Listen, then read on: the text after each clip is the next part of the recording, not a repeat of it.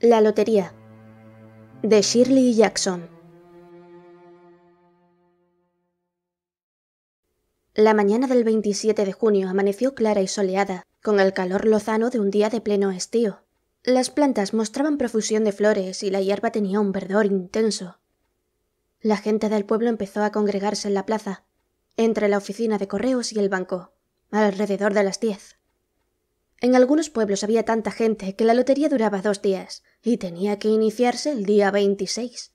Pero en aquel pueblecito, donde apenas había trescientas personas, todo el asunto ocupaba apenas un par de horas, de modo que podía iniciarse a las diez de la mañana y dar tiempo todavía que los vecinos volvieran a sus casas a comer. Los niños fueron los primeros en acercarse, por supuesto. La escuela acababa de cerrar para las vacaciones de verano, y la sensación de libertad producía inquietud en la mayoría de los pequeños. Tendían a formar grupos pacíficos durante un rato antes de romper a jugar con su habitual bullicio, y sus conversaciones seguían girando en torno a la clase y los profesores, los libros y las reprimendas. Bobby Martin ya se había llenado los bolsillos de piedras, y los demás chicos no tardaron en seguir su ejemplo, seleccionando las piedras más lisas y redondeadas. Bobby, Harry Jones y Dicky Delacroix acumularon finalmente un gran montón de piedras en un rincón de la plaza y lo protegieron de las incursiones de los otros chicos. Las niñas se quedaron aparte, charlando entre ellas y volviendo la cabeza hacia los chicos, mientras los niños más pequeños jugaban con la tierra o se agarraban de la mano de sus hermanos o hermanas mayores. Pronto empezaron a reunirse los hombres, que se dedicaron a hablar de sembrados y lluvias, de tractores e impuestos, mientras vigilaban a sus hijos, Formaron un grupo, lejos del montón de piedras de la esquina, y se contaron chistes sin alzar la voz, provocando sonrisas más que carcajadas. Las mujeres, con descoloridos vestidos de andar por casa y suéteres finos, llegaron poco después de sus hombres. Se saludaron entre ellas e intercambiaron apresurados chismes mientras acudían a reunirse con sus maridos. Pronto las mujeres, ya al lado de sus maridos, Empezaron a llamar a sus hijos y los pequeños acudieron a regañadientes, después de la cuarta o la quinta llamada. Bobby Martin esquivó, agachándose, la mano de su madre cuando pretendía agarrarlo, y volvió corriendo, entre risas, hasta el montón de piedras. Su padre lo llamó entonces con voz severa, y Bobby regresó enseguida, ocupando su lugar entre su padre y su hermano mayor. La lotería, igual que los bailes de la plaza, el club juvenil y el programa de la fiesta de Halloween era dirigida por el señor Summers, que tenía tiempo y energía para dedicarse a las actividades cívicas.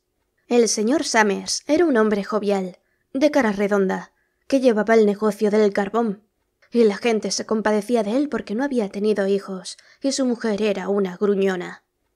Cuando llegó a la plaza portando la caja negra de madera, se levantó un murmullo entre los vecinos, y el señor Summers dijo Hoy llego un poco tarde, amigos. El administrador de correos, el señor Graves, venía tras él cargando con un taburete de tres patas, que colocó en el centro de la plaza, y sobre el cual instaló la caja negra el señor Summers. Los vecinos se mantuvieron a distancia, dejando un espacio entre ellos y el taburete. Y cuando el señor Summers preguntó ¿Alguno de ustedes quiere echarme una mano? Se produjo un instante de vacilación hasta que dos de los hombres, el señor Martin y su hijo mayor, Baxter, se acercaron para sostener la caja sobre el taburete, mientras él revolvía los papeles del interior. Los objetos originales para el juego de la lotería se habían perdido hacía mucho tiempo, y la caja negra que descansaba ahora sobre el taburete llevaba utilizándose desde antes incluso de que naciera el viejo Warner, el hombre de más edad del pueblo. El señor Summers hablaba con frecuencia a sus vecinos de hacer una caja nueva, pero a nadie le gustaba modificar la tradición que representaba aquella caja negra.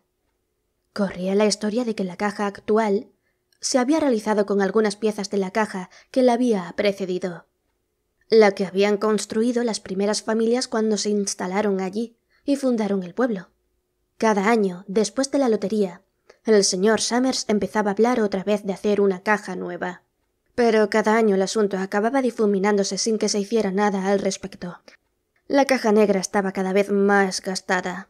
Ella ni siquiera era completamente negra, sino que le había saltado una gran astilla en uno de los lados, dejando a la vista el color original de la madera, y en algunas partes estaba descolorida o manchada. el señor Martin y su hijo mayor, Baxter. Sujetaron con fuerza la caja sobre el taburete hasta que el señor Summers hubo revuelto a conciencia los papeles con sus manos. Dado que la mayor parte del ritual se había eliminado u olvidado, el señor Summers había conseguido que se sustituyeran por hojas de papel las fichas de madera que se habían utilizado durante generaciones. Según había argumentado el señor Summers, las fichas de madera fueron muy útiles cuando el pueblo era pequeño.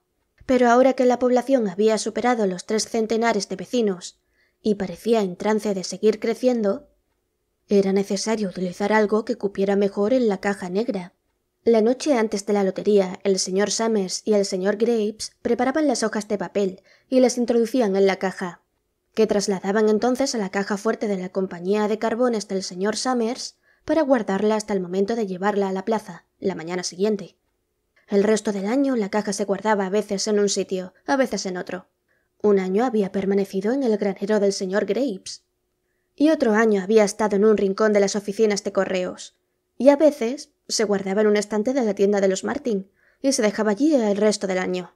Había que atender muchos detalles antes de que el señor Summers declarara abierta la lotería. Por ejemplo, había que confeccionar las listas de cabezas de familia, de cabezas de las casas que constituían cada familia y de los miembros de cada casa.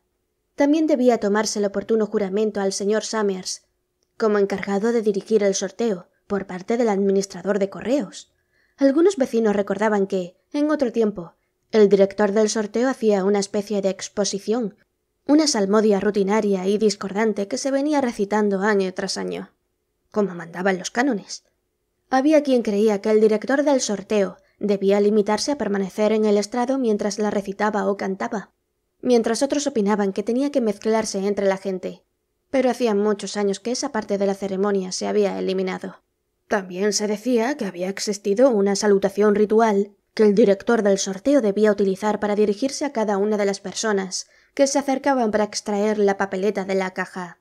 Pero también esto se había modificado con el tiempo, y ahora solo se consideraba necesario que el director dirigiera algunas palabras a cada participante cuando acudía a probar su suerte. El señor Summers tenía mucho talento para todo ello. Luciendo su camisa blanca impoluta y sus pantalones tejanos, con una mano apoyada tranquilamente sobre la caja, tenía un aire de gran dignidad e importancia, mientras conversaba interminablemente con el señor Graves y los Martin. En el preciso instante en el que el señor Summers terminaba de hablar y se volvía hacia los vecinos congregados, la señora Hutchinson apareció a toda prisa por el camino que conducía a la plaza, con un suéter sobre los hombros, y se añadió al grupo que ocupaba las últimas filas de asistentes. Me había olvidado por completo de qué día era, le comentó a la señora de la Croix cuando llegó a su lado, y las dos mujeres se echaron a reír por lo bajo. Pensaba que mi marido estaba en la parte de atrás de la casa, apilando leña. Prosiguió la señora Hutchinson. Y entonces miré por la ventana y vi que los niños habían desaparecido de la vista. Entonces recordé que estábamos a veintisiete y vine corriendo. Se secó las manos en el delantal y la señora de la Croix respondió. De todos modos, has llegado a tiempo. Todavía están con los preparativos. La señora Hutchinson estiró el cuello para observar a la multitud y localizó a su marido y a sus hijos casi en las primeras filas. Se despidió de la señora de la Croix con unas palmaditas en el brazo y empezó a abrirse paso entre la multitud. La gente se apartó con aire festivo para dejarla avanzar. Dos o tres de los presentes murmuraron en voz lo bastante alta como para que les oyera a todo el mundo Ahí viene tu mujer, Hutchinson.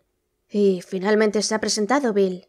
La señora Hutchinson llegó hasta su marido y el señor Summers, que había estado esperando a que lo hiciera, comentó en tono jovial.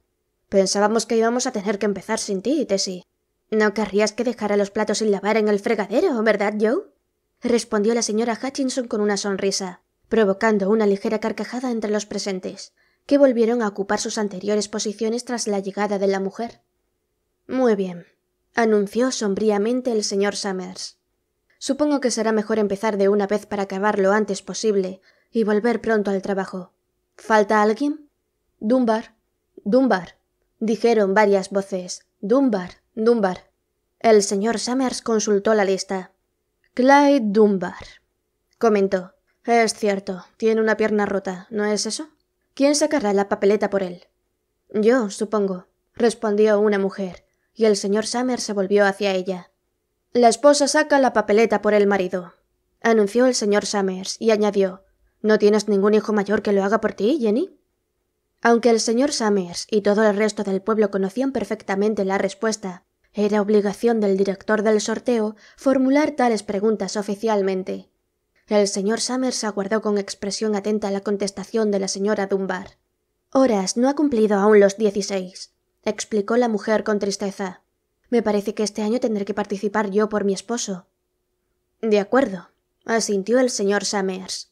Efectuó una anotación en la lista que sostenía en las manos y luego preguntó ¿El chico de los Watson sacará papeleta este año? El muchacho de elevada estatura alzó la mano entre la multitud. Aquí estoy, dijo. Voy a jugar por mi madre y por mí. El chico parpadeó nervioso y escondió la cara mientras varias voces de la muchedumbre comentaban en voz alta. Buen chico, Jack. Y me alegro de ver que tu madre ya tiene un hombre que se ocupe de hacerlo. Bien, dijo el señor Summers. Creo que ya estamos todos. ¿Ha venido el viejo Warner? Aquí estoy, dijo una voz, y el señor Summers asintió. Un súbito silencio cayó sobre los reunidos, mientras el señor Summers carraspeaba y contemplaba la lista. ¿Todos preparados? preguntó. Bien, voy a leer los nombres. Los cabezas de familia primero. Y los hombres se adelantarán para sacar una papeleta de la caja. Guarden la papeleta cerrada en la mano, sin mirarla, hasta que todo el mundo tenga la suya. ¿Está claro? Los presentes habían asistido tantas veces al sorteo que apenas prestaron atención a las instrucciones. La mayoría de ellos permaneció tranquila y en silencio, humedeciéndose los labios y sin desviar la mirada del señor Summers. Por fin, éste alzó una mano y dijo Adams. Un hombre se adelantó a la multitud. Hola, Steve. Le saludó el señor Summers. Hola, Joe le respondió el señor Adams. Los dos hombres intercambiaron una sonrisa nerviosa y seca. A continuación, el señor Adams introdujo la mano en la caja negra y sacó un papel doblado. Lo sostuvo con firmeza por una esquina, dio media vuelta y volvió a ocupar rápidamente su lugar entre la multitud, donde permaneció ligeramente apartado de su familia, sin bajar la vista a la mano donde tenía la papeleta. Alem, llamó el señor Summers, Anderson, Bingham, ya parece que no pasa el tiempo entre una lotería y la siguiente, comentó la señora de la Croix a la señora Grapes en las filas traseras. Me da la impresión de que la última fue apenas la semana pasada. Desde luego, el tiempo pasa volando, asintió la señora Grapes. Clar, de la Croix. Allá va mi marido, comentó la señora de la Croix, conteniendo la respiración mientras su esposo avanzaba hacia la caja. Dunbar, llamó el señor Summers y la señora Dunbar se acercó con paso firme, mientras una de las mujeres exclamaba Ánimo, Jenny. y otra decía Allá va. Ahora nos toca a nosotros. anunció la señora Graves y observó a su marido mientras éste rodeó la caja negra. Saludó al señor Summers con aire grave y escogió una papeleta de la caja. A aquellas alturas, entre los reunidos había numerosos hombres que sostenían entre sus manazas pequeñas hojas de papel haciéndolas girar una y otra vez con gesto nervioso. La señora Dunbar y sus dos hijos estaban muy juntos. La mujer sostenía la papeleta. Haworth, Hutchinson. Vamos allá, Bill, dijo la señora Hutchinson. Y los presentes cercanos a ella soltaron una carcajada. Jones. Dicen que el pueblo de arriba está hablando de suprimir la lotería, comentó el señor Adams al viejo Warner. Este soltó un bufido y replicó Atajo de estúpidos. Si escuchas a los jóvenes, nada les parece suficiente. A este paso, dentro de poco querrán que volvamos a vivir en cavernas. Que nadie trabaje más y que vivamos de ese modo. Antes teníamos un refrán que decía la lotería en verano antes de recoger el grano. A este paso pronto tendremos que alimentarnos de bellotas y frutos del bosque. La lotería ha existido siempre, añadió irritado. Ya es suficientemente terrible tener que ver al joven Joe Summers ahí arriba, bromeando con todo el mundo. En algunos lugares ha dejado de celebrarse la lotería, apuntó la señora Adams. Eso no traerá más que problemas, insistió el viejo Warner, testarudo, atajo de jóvenes estúpidos. Martin. Bobby Martin vio avanzar a su padre. Overdyke, Percy. Ojalá se den prisa, murmuró la señora Dunbar a su hijo mayor. Ojalá acaben pronto. Ya casi han terminado, dijo el muchacho, Prepárate para ir corriendo a informar a tu padre, le indicó su madre. El señor Summers pronunció su propio apellido. Dio un paso medido hacia adelante y escogió una papeleta de la caja. Luego llamó a Warner. Llevo sesenta y siete años asistiendo a la lotería. Setenta y siete loterías. Watson. El muchacho alto se adelantó con andares desgarbados. Una voz exhortó. No te pongas nervioso, muchacho. Y el señor Summers añadió. Tómate el tiempo necesario, hijo. Después cantó el último nombre. Zanini. Tras esto se produjo una larga pausa, una espera cargada de nerviosismo hasta que el señor Summers, sosteniendo en alto su papeleta, murmuró Muy bien, amigos. Durante unos instantes nadie se movió. A continuación, todos los cabezas de familia abrieron a la vez la papeleta. De pronto, todas las mujeres se pusieron a hablar a la vez. ¿Quién es? ¿A quién le ha tocado? ¿A los Dunbar? ¿A los Watson? Al cabo de unos momentos las voces empezaron a decir Es Hutchinson, le ha tocado a Bill Hutchinson. Ve a decírselo a tu padre, ordenó la señora Dunbar a su hijo mayor. Los presentes empezaron a buscar a Hutchinson con la mirada. Bill Hutchinson estaba inmóvil y callado, contemplando el papel que tenía en la mano. De pronto, Tessie Hutchinson le gritó al señor Summers. No le has dado tiempo a escoger qué papeleta quería. Te he visto, Joe Summers. No es justo. Tienes que aceptar la suerte, Tessie, le replicó la señora de la Croix, y la señora Grapes añadió Todos hemos tenido las mismas oportunidades. Vamos, Tessie, cierra el pico. intervino Bill Hutchinson. Bueno, hasta aquí hemos ido bastante deprisa y ahora deberemos apresurarnos un poco más para terminar a tiempo. Consultó su siguiente lista y añadió Bill, tú has sacado la papeleta por la familia Hutchinson. ¿Tienes alguna casa más que pertenezca a ella? Están Don y Eva exclamó la señora Hutchinson con un chillido. Ellos también deberían participar. Las hijas casadas están en el sorteo con las familias de sus maridos, Tessie, replicó el señor Summers con suavidad. Lo sabes perfectamente, como todos los demás. No ha sido justo, insistió Tessie. Me temo que no, respondió con voz abatida Bill Hutchinson a la anterior pregunta del director del sorteo. Mi hija juega con la familia de su esposo, como está establecido, y no tengo más familia que mis hijos pequeños. Entonces, por lo que respecta a la elección de la familia, ha correspondido a la tuya, declaró el señor Summers a modo de explicación. Y por lo que respecta a la casa, también corresponde a la tuya, ¿no es eso? Sí, respondió Bill Hutchinson. ¿Cuántos chicos tienes, Bill? preguntó oficialmente al señor Summers. Tres, declaró Bill Hutchinson. Está mi hijo Bill y Nancy y el pequeño Dave. Además de Tessie y de mí, claro. Muy bien, pues.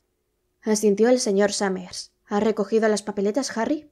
El señor Grapes asintió y mostró en alto las hojas de papel. Entonces ponlas en la caja, le indicó el señor Summers. Cógela de Bill y colócala dentro. Creo que deberíamos empezar otra vez, comentó la señora Hutchinson con toda la calma posible. Le digo que no es justo. Bill no ha tenido tiempo para escoger qué papeleta quería. Todos lo han visto. El señor Grapes había seleccionado cinco papeletas y las había puesto en la caja, salvo estas, Dejó caer todas las demás al suelo, donde la brisa las impulsó esparciéndolas por la plaza. Escúchenme todos. seguía diciendo la señora Hutchinson a los vecinos que la rodeaban. ¿Preparado, Bill? inquirió el señor Summers, y Bill Hutchinson asintió, después de dirigir una breve mirada a su esposa e hijos. Recuerden, continuó el director del sorteo. Saquen una papeleta y guárdenla sin abrir hasta que todos tengan la suya. Harry, tú ayudarás al pequeño Dave. El señor Graves tomó de la manita al niño, que se acercó a la caja con él sin ofrecer resistencia. Saca un papel de la caja, Davy, le dijo el señor Summers. Davy introdujo la mano donde le decían y soltó una risita. Sacó solo un papel, insistió el señor Summers. Harry, ocúpate tú de guardarlo. El señor Graves tomó la mano del niño y le quitó el papel de su puño cerrado. Después lo sostuvo en alto mientras el pequeño Dave se quedaba a su lado, mirándolo con aire de desconcierto. Ahora Nancy, anunció el señor Summers. Nancy tenía doce años y a sus compañeros de la escuela se les aceleró la respiración mientras se adelantaba, agarrándose la falda y extraía una papeleta con gesto delicado. Bill, hijo, dijo el señor Summers. Y Billy, con su rostro sonrojado y sus pies enormes, estuvo a punto de volcar la caja cuando sacó su papeleta. Tessie. La señora Hutchinson titubeó durante unos segundos, mirando a su alrededor con aire desafiante, y luego apretó los labios y avanzó hasta la caja. Extrajo una papeleta y la sostuvo a su espalda.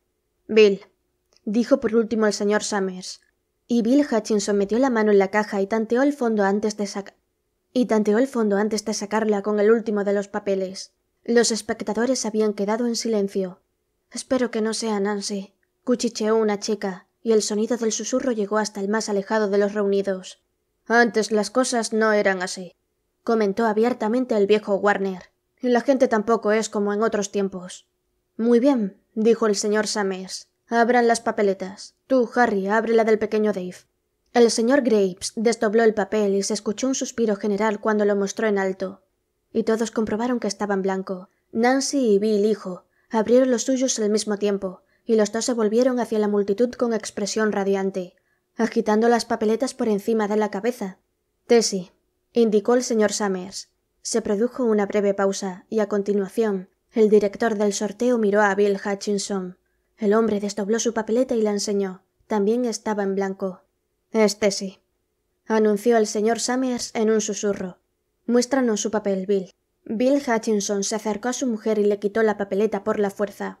En el centro de la hoja había un punto negro, la marca que había puesto el señor Summers con el lápiz la noche anterior, en la oficina de la compañía de carbones. Bill Hutchinson mostró en alto la papeleta y se produjo una reacción agitada entre los congregados. Bien, amigos, proclamó el señor Summers. Démonos prisa en terminar. Aunque los vecinos habían olvidado el ritual y habían perdido la caja original, aún mantenían la tradición de utilizar piedras. El montón de piedras que los chicos habían reunido antes estaba preparado y en el suelo. Entre las hojas de papel que habían extraído de la caja había más piedras. La señora de la Croix escogió una piedra tan grande que tuvo que levantarla con ambas manos, y se volvió hacia la señora Dunbar. Vamos, le dijo, date prisa. La señora Dunbar sostenía una piedra de menor tamaño en cada mano y murmuró entre jadeos. No puedo apresurarme más, tendrás que adelantarte. Ya te alcanzaré. Los niños ya tenían su provisión de piedras y alguien le puso en la mano varias piedrecitas al pequeño Davy Hutchinson. Tessie Hutchinson había quedado en el centro de una zona despejada y extendió las manos con gesto desesperado mientras los vecinos avanzaban hacia ella. No es justo. exclamó. Una piedra la golpeó en la sien. Vamos, vamos todo el mundo. gritó el viejo Warner. Steve Adams estaba en el frente de la multitud de vecinos, con la señora Grips a su lado. No es justo. No hay derecho. siguió exclamando la señora Hutchinson. Instantes después todo el pueblo cayó sobre ella.